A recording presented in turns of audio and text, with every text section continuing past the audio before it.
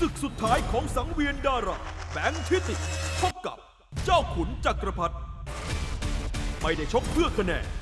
คะแนนไม่เกี่ยวนะครับ ตอนนี้วัดกันบนเวทีนะครับ แต่ชกเพื่อศักดิ์ศรีของลูกผู้ชาย วันนี้ผมพร้อมแล้ว ต่อยกันเลยปะ